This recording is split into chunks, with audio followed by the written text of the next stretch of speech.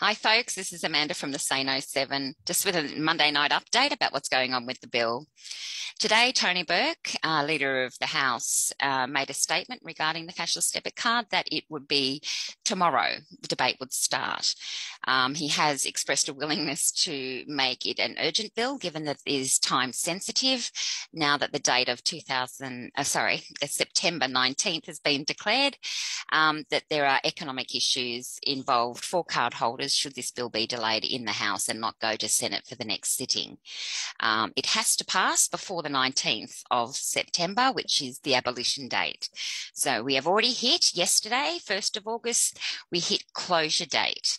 Okay, now closure day means that no more people can be put on the card as of now because 100 people, because of the automated system, 100 people a day were being added to the cart. So one of our four demands to the ALP when we got Rancy a couple of weeks ago was that they stop that from happening, and they have done that.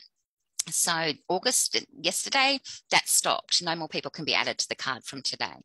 Um, automated systems are switched off. But uh, today, 2nd of August, they we thought the debate would come up today, at least this evening or this afternoon, but we forgot about the Jenkins report. And the Jenkins report provisions means that Parliament now pretty much closes at 6.30, or the votes and a quorum, which is the number of members needed to have a vote, stops at 6.30. And that's so working parents can get home in a reasonable hour, working members members of parliament, and we support that. But what it does, it shortens the time for debate. It means debate has to happen in the House during working hours, not till after midnight, like the last Senate debate it did in 2020.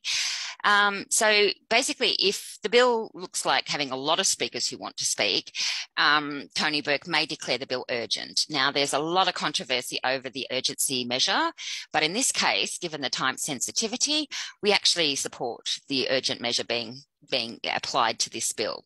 Now, what happens is if it is declared urgent, then Parliament will debate on whether it is or not and agree or disagree. If it disagrees, then it's very likely that Tony Burke will simply ask the question be called, which um, means that the, all debate will be cut off and the House, the vote will take place then and there because uh, we can't afford this bill not to pass. Um, Labor can't afford if they're to do the things that they're going to do, um, like the changes of the dates and all of this thing. But this was almost, this was something that was surprising actually, that Tony expressed the economic needs of card holders. And um, it's actually good to see, I can see a smile on my face because it was really good to see that he put the needs of card holders equal to the needs of the parliament you know, um, right up there. It was, uh, you know, the needs to pass the bill, but then there was the need why we had to need. And in that why, he stated that, you know, there were economic after people have afterpays and things like that. And I just want to read what I wrote on Twitter today so it's easier. I said, it's not just afterpay either, Mr. Burke. It's rents, it's home loans, it's mortgages, childcare and medical bills. It is hundreds of thousands of dollars in debts and notices and late fees that, you know, could risk people becoming homeless if this bill does not progress. And these are costs that will be borne because there is no redress. These are costs that will be borne by people living in poverty already who have been forced onto this card and they simply cannot afford it. It's clear that the bill won't progress today. Okay, though we're confident that it will pass the House tomorrow and then it will pass for the Senate on September 5th. So, it, you know, it, it, the September 5th calendar is four days. All right. And now, if the opposition want to drag this out, then it will appear at any given time over that four days. So we will have to update you uh, when that is going to a vote. And the only way to really be on the money when it's going for a vote is actually to be on our Twitter feed. So uh, our Twitter feed is at the say no with the numeral seven.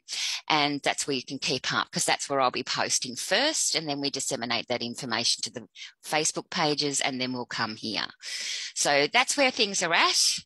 And, um, you know, it's funny. I made the made the joke. You know, we'll be first cab off the rank on September fifth, and and it was a difficult thing because cabs are actually banned merchants on the cashless debit card. So I said, okay, well, I'll change that to first horse out of the gate. But showgrounds are a banned banned venue for people on the card.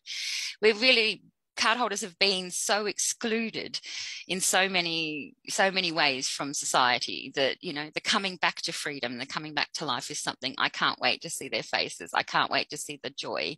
Uh, we've already seen one or two of our members have their freedom restored and to feel that expression of joy on a mass scale is going to be something really worth watching. Um, in the meantime, we're preparing our statements for media, both if the bill passes and if it doesn't. Um, you know, we have we're engaging with media contacts. Kathy's been in on radio and media, but there was an article out today. I would like to point you all to. It's on the ABC. Um, ABC Perth. It is an art as an automat. It's an audio podcast. It's called Life on the Cashless Debit Card.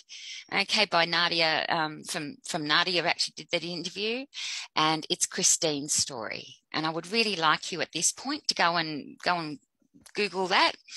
Uh, it's on the ABC Perth webpage. Uh, it starts with the new federal government's move to scrap the cashless debit card. So, um, but the title is Life on the Cashless Debit Card. If you could do me a solid and go and listen, please, to Christine's story. Um, she, it was a brilliant interview, one of the best we've seen from ABC because ABC have been really horrible to us over the years, just as they were during the intervention. So please go and look at that article.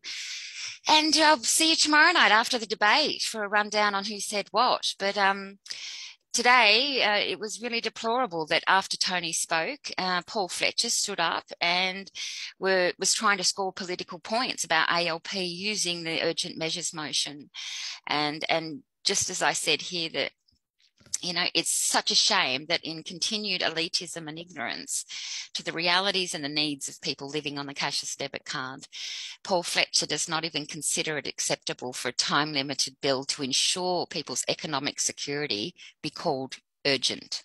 He doesn't care that cardholders are going to face thousands of dollars of debt. He doesn't care that that will put them further behind, will leave kids without priority needs, will leave families without being able to pay bills for a longer period of time. He doesn't care. They just simply don't care. You know, so it's, um, you know, they haven't learned a damn thing from the election, which is very, very clear right now. And uh, but I'm going to close this off now, and I'm going to hand over to Kathy, who no doubt will probably live on this later on. Uh, and I will be back after tomorrow night. So thank you, everybody. I appreciate your all your follows and things, and I'll do story times, a lot of story times after this is over. Okay, take care, guys.